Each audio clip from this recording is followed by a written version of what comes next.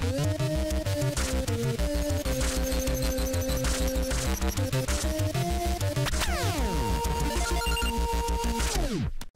What's up gamers, Dreamcast Guy here, talking today about the PlayStation 5 because somebody just accidentally posted a bunch of screenshots onto the internet of the PlayStation 5 system menus. And the reason this is important is because it finally gives us our first real look at the raw storage space of the PlayStation 5. And the reason I'm making this video is because it's surprisingly tiny.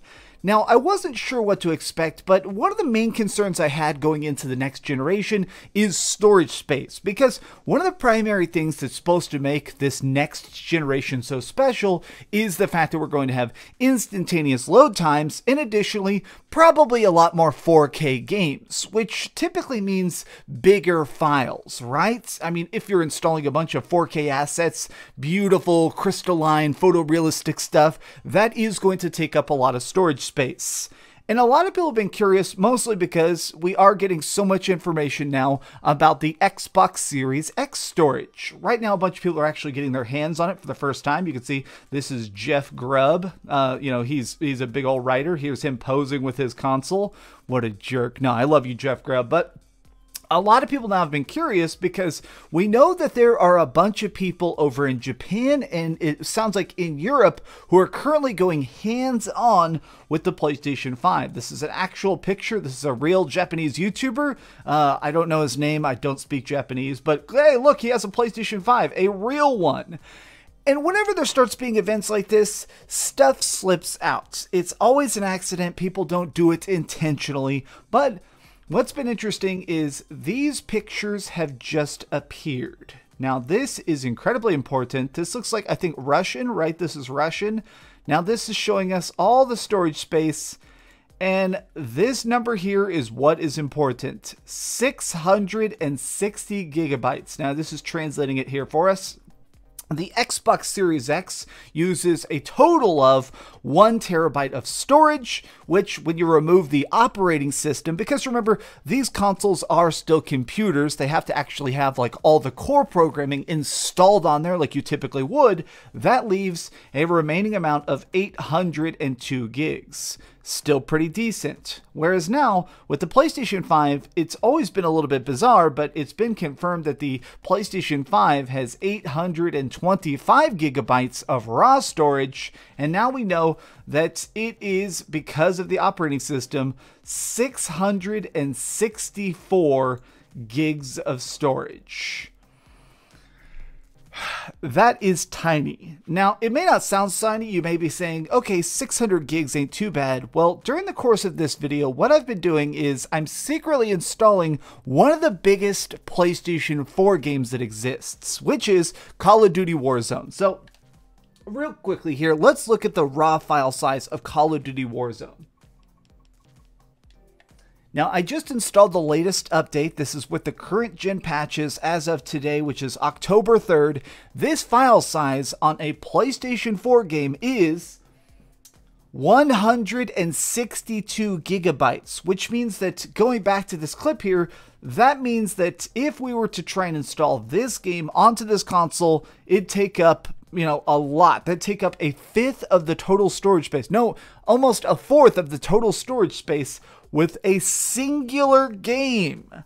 Now, I'm glad that we're getting a chance to see all this different like UI storage menu stuff, but I am a little bit nervous. Now, part of the reason I am a little bit taken aback by this is because I'm used to having a lot more storage than that. This is actually this has been the the special see-through blue uh, PlayStation 4, and as you can see, it has two terabytes of storage, which means I'm going to be going from two terabytes of storage down to 664 gigs.